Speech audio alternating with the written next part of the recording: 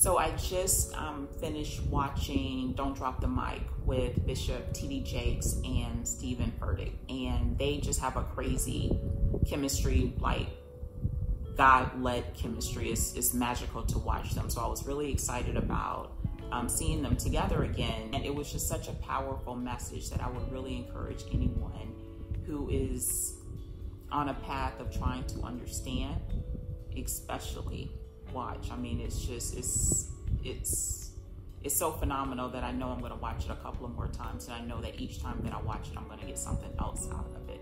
So I want to encourage you to to do that, but just understand that when you are on a path, especially a path of purpose, self-discovery, that you will always carry the burden of doubt like you don't get to a place where the doubt just goes away. You will have doubt because that's we're human. We're a spirit in a vessel, but that vessel is is gonna have doubt. And so the idea is not that you are looking forward to the day that you don't have to worry about that anymore. It's that you understand that that doubt, that fear, is all part of the process and it's going to lead you to something bigger. That all of the journeys, all of the barriers, everything that happens, happens um, in accordance to helping you get to that next step in your journey. So it's not removed per experience. Like, it's not like, oh, I invested 20 years in this and I got it, so now I don't have to worry about it. That's not how it works. It's life, it gets all of us.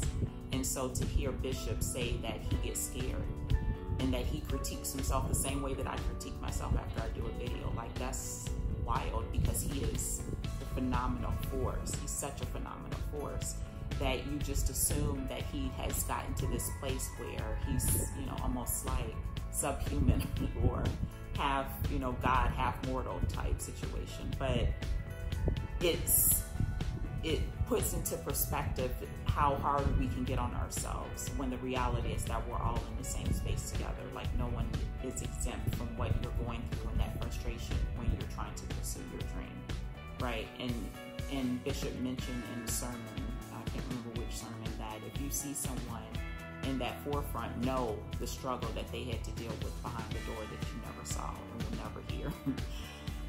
and that is reality.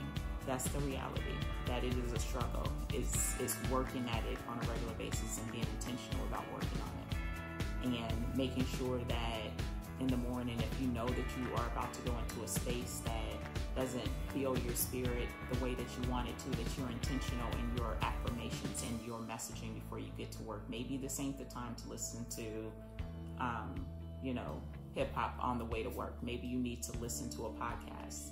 Maybe you need to listen to a Wayne Dyer, you know, um, on manifesting your destiny.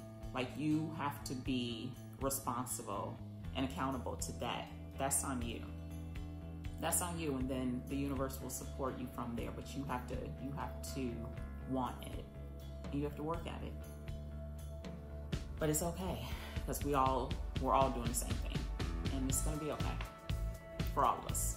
I'm telling myself.